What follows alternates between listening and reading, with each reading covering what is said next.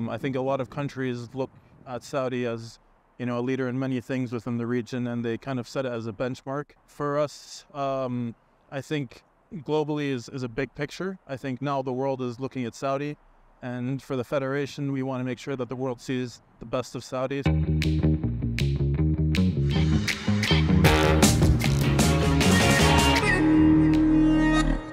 Hello and welcome to the Mayman Show. We are coming to you from Erga Riyadh, where we are at a field with the Saudi Arabian national team for rugby.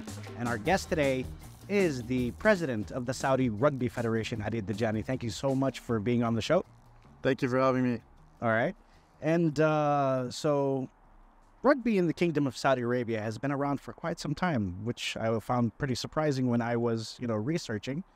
But it has a very illustrious 40 year tenure in sports here in the Kingdom of Saudi Arabia. And in 2010 through 2013, there were some efforts by the Saudi Rugby Organization to turn things into a federation level. And in 2019, the federation was established. So, how popular is rugby as a sport now in the kingdom? I think um, rugby is a dark horse in the kingdom. Uh, the sport, like you said, has been around for actually quite a long time. Um, prominently here in Riyadh, Jeddah, and in Khobar. Uh, we still have active rugby clubs, and we have new clubs opening up uh, almost know, every couple of months or so. I believe Yanbu has their own rugby club. Uh, NEOM is also attempting to have their rugby club within their community. Um, at the moment, we're seeing a big spike in uh, grassroots development. So, one of the things that uh, the new federation really wanted to focus on was building a a pool or a sustainable uh, stream for players to come in and to grow with the sport. Um, I think before it was more of finding young men who wanted to play because that was what drew this drew them to the sport. But now I think rugby has kind of expanded a, on a global level. One of the fastest growing sports for for teams, and uh, one of the fastest growing sports for women as well. So the federation's strategy was to focus on sevens rugby, the Olympic version of, of the sport, All right. And uh, to target the youth and the women, and uh, at the same time maintain the, the high level of rugby we have for the men. Okay. And then and, the, the gentlemen in the background are uh, the, the national team for what level? So these are the under 16 boys. Okay. Um, so this is one of the new age groups that we have that we didn't have before, is the under 16 development team that we hope to carry the the rugby federation and all the aspirations we have for the next 10, 10 15 years of their their playing careers and we hope that you know through programs like the one that we had to bring them in through the schools uh, the outreach programs with the support of some other uh, federations or other services provided from the ministry of sports um, you know we tap into those things and i think the sport ecosystem here is growing Yeah. at a very fast rate and uh, and in a very efficient way Okay. And uh, so, since the establishment, uh, you know, of, of, of making rugby into a national sport, the Saudi national team has competed in five tournaments. Am I correct? that's correct All right. And now you guys are scheduled to have a camp in Egypt, right? that's right So, what else are your plans globally, and how are you guys keeping up on a global level for, for rugby? Uh, so globally, like I said, it's it's a very fast-growing sport, particularly within Asia. I think Asia has seen uh, an increase in number of countries that are registered with the the Confederation. Um, I think now is a very big time for for rugby in Asia to kind of excel and have a good competition structure and ecosystem. I think Saudi can also be at the forefront of that when it comes to the region. Um, I think a lot of countries look at Saudi as you know, a leader in many things within the region, and they kind of set it as a benchmark. For us, um, I think globally is, is a big picture. I think now the world is looking at Saudi, and for the federation, we want to make sure that the world sees the best of Saudi. So, our our mission for the federation is to show that you know it's structured and it's organized, and um, you know all eyes will be on us at some point. Okay, I mean that's that's kind of a trend here with all Saudi development projects, whether it's sports, entertainment, or whatever sector is. If we, you know, we're we're getting into the sector, we kind of make a big, impactful statement on a global level. We never settle for just average, right? Absolutely. I think um, it's Saudi's Saudi's vision is is really big, and I think you know most of the world can't understand what, what's going on here and what, what the vision is and what Mhm. the drive is here. Um, Saudi has always been an ambitious place, and I think at the moment it's going through a very prosperous time. Mhm. I think the outlook for Saudi, you know, regardless of of a lot of the comments around it, I think it's doing absolutely fine. And I think you know, ten years looking back, you know, we we wouldn't believe that you know we're we're at the point that we're going to be at. Yes, exactly. I mean, ten years or even five years. It's it's it's been there's been a lot of stuff going on. And uh, so, what what what participations are in the horizon for for you guys in rugby? So at the moment, we're uh, preparing our boys for the uh, the local tournaments that we have. So we have, I think, three uh, national tournaments. One of them, two of them, run by the Saudi Rugby Federation. Uh, one in Al Hassa, one in Taif, and then uh, we're also participating in the Saudi Games. Okay.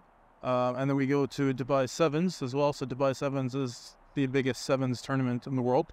Okay. Um, and then they have a few sub tournaments there, which we compete in, and a lot of Saudi teams compete in as well. Um, that's where we basically do our benchmarking. We see how we compare to club levels in the UAE or even internationally that are playing in our pool. And then uh, we have the Arab Sevens happening in February. So this is also something we're looking forward to, to you know deliver an exceptional experience for the for the men, and also to compare ourselves to last year, and of course to our uh, you know our our, uh, our brother countries. Okay. And uh, so, what's what's uh, the federation's focus right now? And uh, what are your ambitions for women who want to participate in the sport? So my aspirations for rugby, I always thought it was a sport for all. Um, I started off playing a lot of different sports, and uh, from my body type, I couldn't fit into many of them. Yeah. Um, I moved to Canada when I was in high school, and I got introduced to the sport there, and I found that this was actually the the perfect sport for me. And later on, you start to see that there's different versions of the sport. There's different, um, you know, sizes and shapes, and uh, you still see people playing up to 60 years old. Um, and we found that you know there's touch rugby, which uh, we found women and men playing together. We found that you know we have people that are age 60 playing with people age 18 at a competitive level. So I think uh, rugby is a sport for everybody, which is our our motto or our statement. Um, I look forward to seeing, to be honest, being one of the most popular sports in the kingdom. Okay. And uh, so you, you know you you've had a passion for sports before rugby, and you know growing up and everything. Uh, you know before we started recording, you were telling me you liked a lot of sports. So what other sports did you play, and which one of them made you get hooked into this world of sports in general? Uh, so I actually started. I was a football player, obviously growing up here in, in the beginning. Yep. Uh, I was a goalkeeper, so I wasn't uh, I wasn't fast or agile, but I had a very good responsive time. I could jump pretty high. I was explosiveness. Um, I was a very good discus thrower. Okay. Um, I was at the time in school in Bahrain when I realized I had a, a strength in, in throwing uh, the disc really far. Okay. But uh, when I moved to Canada, I was playing volleyball, basketball, and I was actually hesitant to play rugby. Um, I wanted to play American football. Okay. And then it just said so happened that my school didn't have a football team, Okay. and the uh, the rugby coach um, basically pulled me off every team and kept me on rugby. And when I played my first match, I was I was hooked. You know, it was it was just it felt so natural, and it felt as if um, you know I should be doing this. Mhm. When I got to the university level, um, I was actually competing in collegiate uh, wrestling. So I did pretty well there. I stopped rugby for a few years just because my university didn't have a rugby team. Okay. And when I moved back here, I played with uh, Bahrain Rugby Club at Khobar as well, where I found that my wrestling really helped my, my rugby as well. So, So how, did it help? Aside from being able to take people down, you know. uh, so r- rugby is, is an intense sport. You know, Okay. you're running on the pitch for 80 minutes nonstop. Um, when I went into wrestling, it's just the, the regimen for training was so strict. You had three hours in the morning, three hours at night, um, and you know your cardio, your your your endurance level had to be really high because you would have several matches throughout the day in a, in a wrestling meet. So when I came over here, it was just my technique for tackling, my explosiveness, my endurance, my speed was, you know, um, all plus three. You know, so um, it it really helped. And sometimes you know I was I was too fast. I was faster than I realized. and Fall over, and it took a while to kind of get used to that. But um, uh, I think you know having this multi-sport background also helped me become good with strategy, became good with teamwork, um, leadership. Okay. So I think um, there's a benefit to playing all sports, of course. All right. And um, so you, you have a degree in healthcare, uh, uh, as you've Yes. done, right? So what's what's your degree on? Uh, kinesiology. So uh, kinesiology is study of human movement. I worked in a hospital in Dammam, uh, King Fahd Specialist Hospital. I worked there in their motion analysis lab. Uh, I was piloting the program with uh, with a colleague of mine, and uh, it was actually quite interesting what you can apply from sports science into healthcare. Okay. And we used uh, basically sports science and motion analysis to diagnose people with specific movement disorders, um, and consult you know doctors and consult therapists on best action plans from our recommendations. Um, after COVID, I I was at the time still president of Saudi Rugby, and it was just starting to kick off, and I got more into the sport management side. Right. Um, it started to grow from there, and uh, you know, with advisors and with mentorship and with the support of the Olympic Committee, um, you know, I was I was able to get my board and get my operations going and have a very good technical year. All right. Well, you gave me an example of how sports science can translate to, you know, health. How about vice versa? How, how did what you learn translate into what, what you do today as a president? Well, to be honest, the one thing I learned about working in both Mhm. is you can force yourself to take care of your body, All right.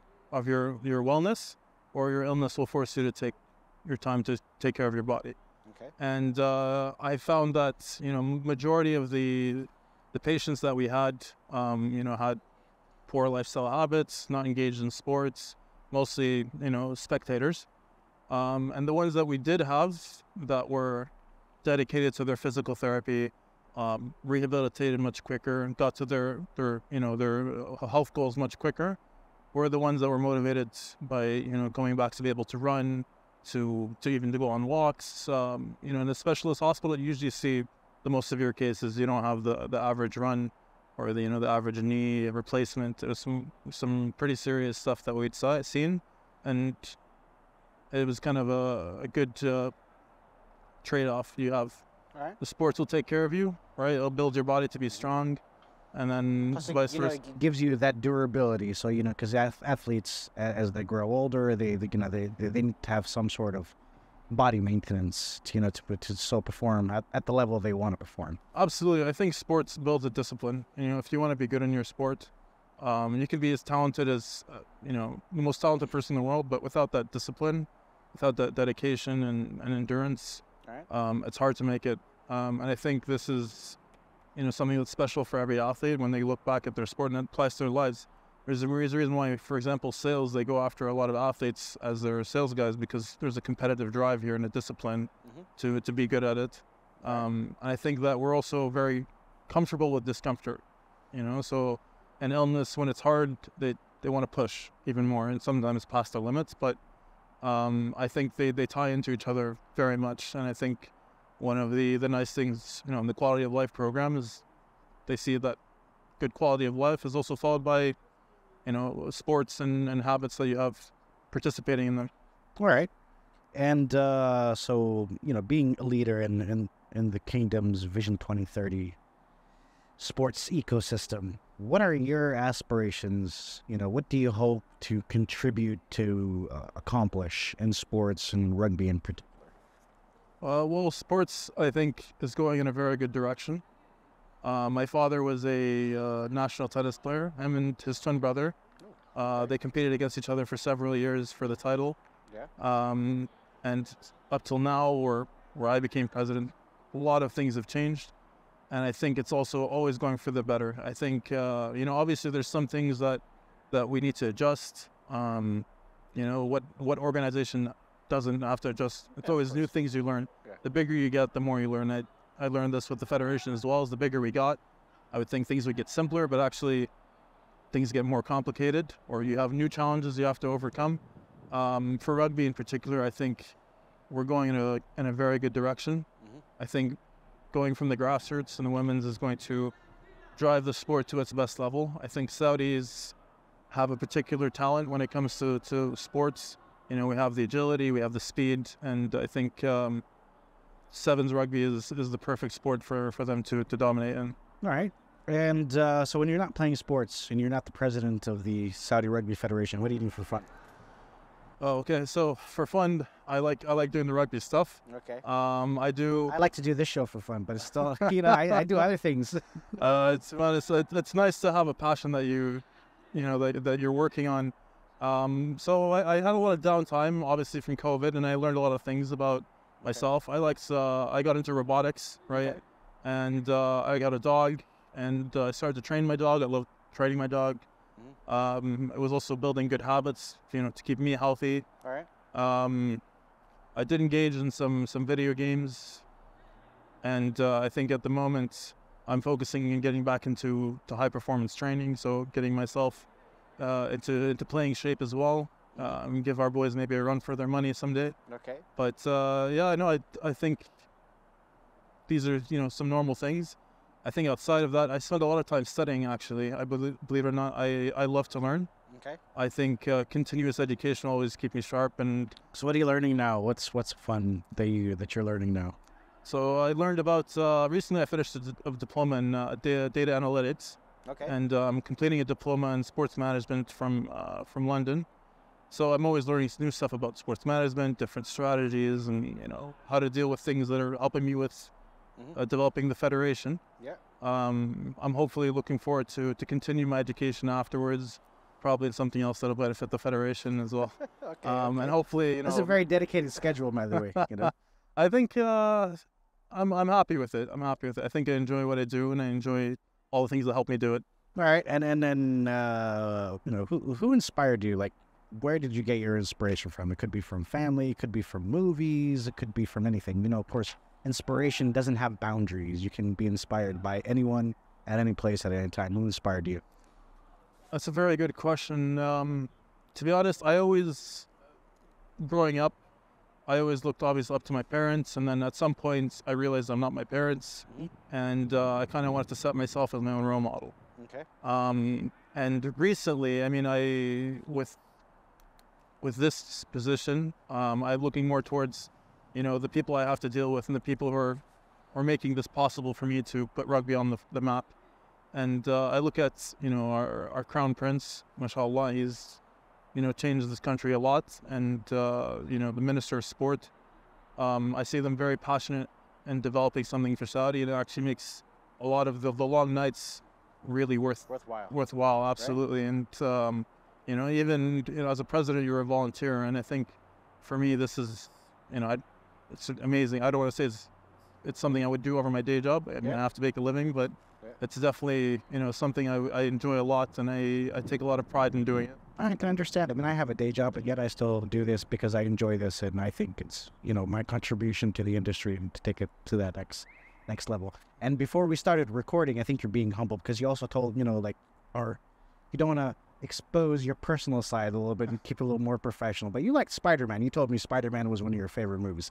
Why do you like Spider Man aside from you know somebody flying everywhere and you know weaving through webs? the thing i like about spider-man is uh, to be honest his backstory you know he's always had a, a tough life Mhm. um, you know he grew up not not so wealthy he grew up lower lower middle class Yeah. um, and you know if you watch the, sh- the movies or see the comics he's always struggling for something you know and uh, it never breaks his character Mhm. um, and always you know that one rule that he that he gets from his uncle is like with great power comes great responsibility Mhm. and i think the the older i got the kind of more i understood it and especially in, in times or situations like this one Yeah. um, yeah the decisions that i i potentially make today have a very big effect on you know the youth of tomorrow you know whoever decides to pick up a rugby ball or maybe even other sports and uh, whoever decides to become president next will will hopefully look to follow an example or to to continue the success that we hopefully built. so i think uh, you know that that simple line goes a long way and i think it applies to a lot of different things All right. And uh, before we wrap up our interview, you know, what's your personal message for the Mayman Show and Arab News audience? I think uh, I think you guys are doing actually a great job of of showing Saudi the news. You know the things that are available in Saudi and the news Saudi. I think there's uh, like like myself. I think before I, I came into the scene, nobody knew that there were Saudi rugby players. Okay. Um, and now we found, you know, a couple playing in Australia and Canada and Ireland. So I think uh, bringing these things to light is actually uh, really added benefit to, to the society. Um, I honestly, I'm, I'm imploring people to, to come and try sports. I think a lot of people don't know their sport until they've tried it. Mhm. I we actually have a rugby player uh, who played his first match when he was 30 years old, All right. and he was like, "I wish I played this when I was, you know, a child. This is Right. what I was. This is the sport I love." And now he plays every year. You know, he's. Uh, I think even for myself, I picked up the sport a a little bit late, but had it been available, I think you know it could have been a very uh, successful sports career. Um, so I, I implore everybody to try it. There's, you know, I think over 90 federations at the moment, Yeah. and all of them trying their best to to reach out and to to find you. So make it easy and find them. All right. Okay. Fair enough. And uh, I'd like to wish you and the team nothing but the best of luck in your future camp and that's happening in Egypt. Uh, I'd like to know what you guys are up to on a regular level. So um, let's keep in touch and, and then see how it goes. Absolutely. Thank you for having me on the show, and uh, look forward to, to you know, grow the sport and uh, connect to you again. All right. Sounds good.